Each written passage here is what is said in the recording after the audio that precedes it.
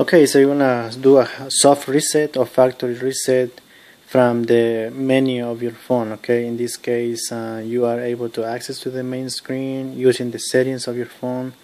Uh, nothing blocking the screen or so something like that. Just you just want to remove Google and register for a new one. Okay, so it's very very important to understand that um, for extra security that Google has uh, uh launched to their Android phones uh, now uh, it is required for you to to to register or enter the uh, first email address that you register on your phone when you just barely buy it. In this case when you buy a brand new phone activate on your own uh, if you bought a phone on the T-Mobile store or uh, you bought it online or whatever but you got the phone with a, a new box or from the retailer.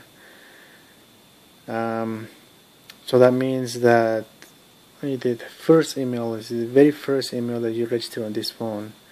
You need to confirm that email address and that, that password in order for you to register another email address uh, let's say that you bought this phone from your friend, from your best friend, uh, neighbor, or uh, and they can provide that information if you don't have that, you don't know it. Okay, so with their email address and password, you can enter and then register your own. That's the way that Google works now.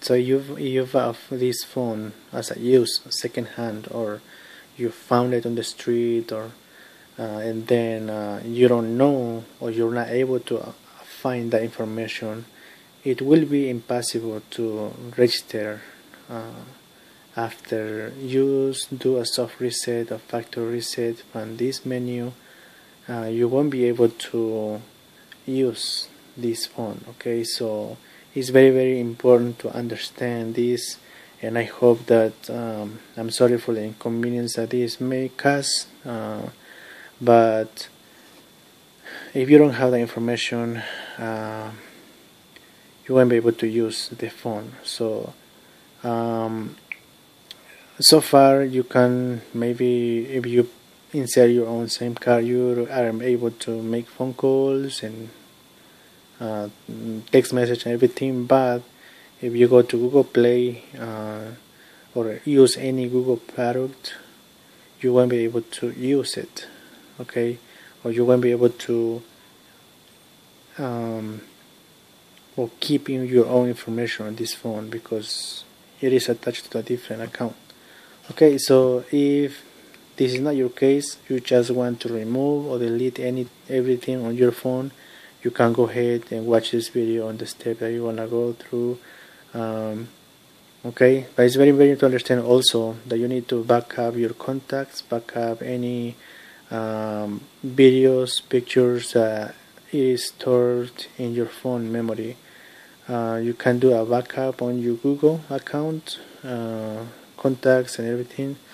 So when you do a factory reset on this phone you can um, um, retrieve all information after you enter re-enter the email address and password on your own okay? So um, you need help on how to backup your information on your Google account please uh, look my video find my video uh, on my channel. I have it as a how to free space using Google Photos or something.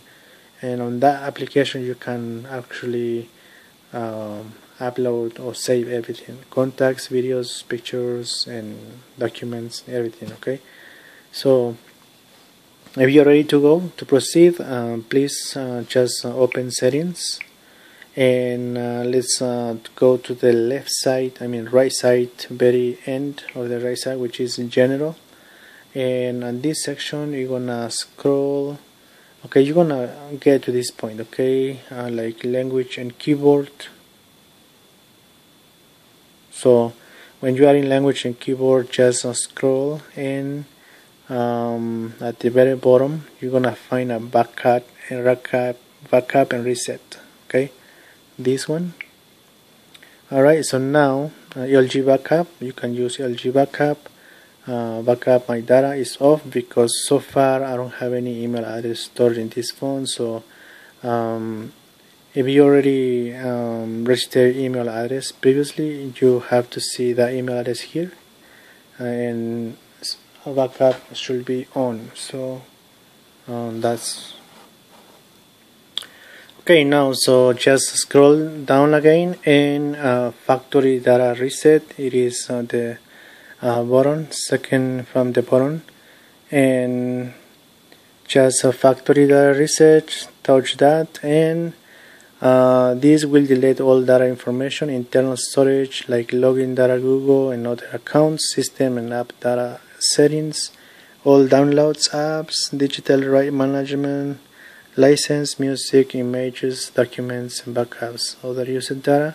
So like I said, um, with your Google account, you can retrieve any application that you downloaded previously or you bought from Google Play Store. And now to reset phone just hit the reset option.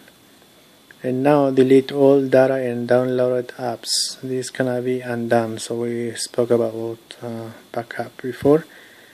And then just hit the option says delete all then uh, your phone will restart twice. This may take longer than usual okay? So just gonna take a few minutes just hit reset. And your phone will power off and on and you're gonna take a few minutes to take you to the main screen uh, to select language register another Wi-Fi and you can uh, insert your SIM card register Google account and so on. So this has been a soft reset or also factory reset from the menu of your phone and if you have any password, passcode or pattern or crack code blocking the screen of this phone and you're not able to access the settings to uh, reset it, um, please find my video called Hard Reset LG Stylo 2 Plus. Um, so in that video uh, we're gonna go through some steps to use the volume down and power key to reset your phone or hard reset or hardware reset okay? When you're not able to access the main menu so uh, please find my video if you need help with that. So please share my video. I hope that I was very clear on this and um, enjoy your phone. Now uh, you're gonna also this system uh, helps a lot to calibrate motherboard in case that you you are experience uh, cold droppings or um, or any other issue on the phone. Some some phones got stuck on the um, T-Mobile logo or LG logo, and you're not able to uh, full power on the phone. Uh, hard reset helps a lot to calibrate motherboard. So, uh, any other question on this, please let me know in comments. I would love to help you with that. So right now we are on the main screen, and if you need help, also how to uh, walk through these steps until you get to the home screen find my video uh, called Start Up LG Stylo 2 Plus Family Mobile T-Mobile or any GSM carrier okay? Thanks so much and share my video if this was helpful to you. Thank you